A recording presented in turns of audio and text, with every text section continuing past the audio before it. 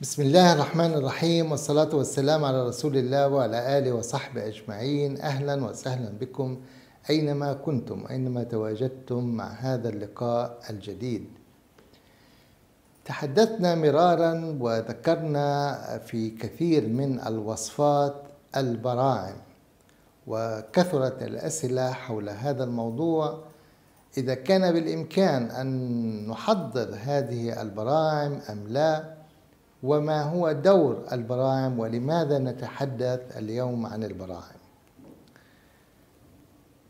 البراعم هي يعني من من مرحلة من مراحل نمو النبات وهي المرحلة الأولى التي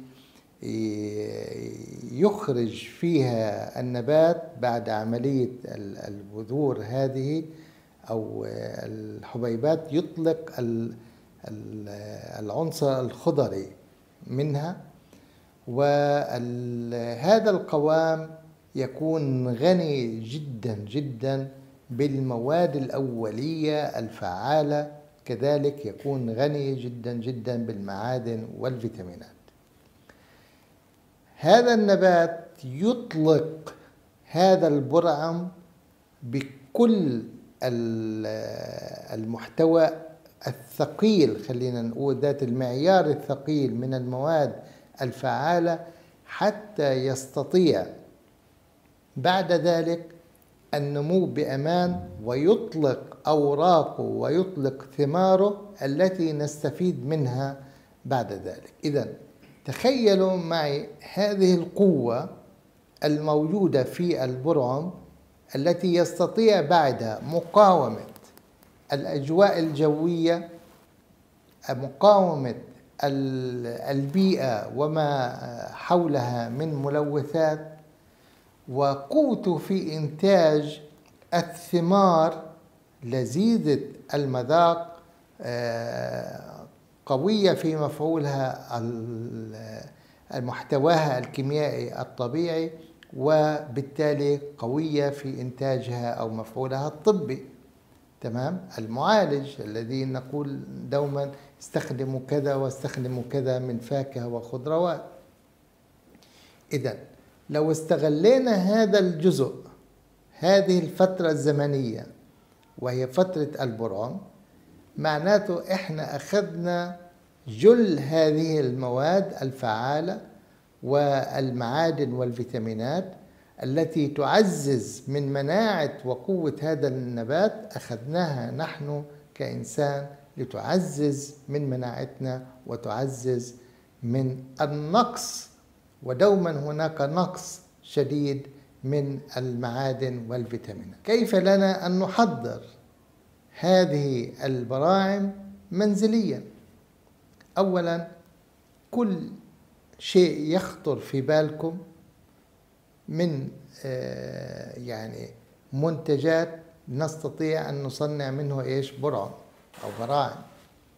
البروكلي الكرفس الحمص القمح الشعير أي شيء يخطر في الفول. تمام؟ كيف نعمل هذه العملية منزليا ببساطة؟ أولا نقوم بنقع المادة الخام خلينا نقول عنها البذور أو هذه البقوليات المختلفة. ننقعها في ماء صالح طبعا للاستخدام لمدة 12 ساعة 14 ساعة حتى يعني تطرى جدا. بعد ذلك ننقلها نصفي طبعا الماء ننقلها إلى وعاء زجاجي محكم الإغلاق ونضع قليل من القطن أو أي يعني مادة قطنية تمام؟ ونحكم إيش؟ الإغلاق جيدا ونضعه في مكان مظلم. بعد أن وضع في مكان مظلم لمدة ما يقرب من 24 ساعة أو ليلة نخرجه لكي يرى الشمس ويتعرض للشمس لتبدأ عملية البناء الضوئي وعمليات إنتاج المواد الفعالة كل هذه الأمور. ويبدأ نلاحظ شيئا فشيئا نمو هذه البراعم حتى يكون هذا الوعاء الذي اخترناه يعني مليء وسبحان الله يعني في قوة انطلاق تجدونها سريعة وكمية وفيرة جدا جدا جدا يعني تفي بالغرض وزيادة. الآن حصلنا على هذه البراعم كيف نستخدمها؟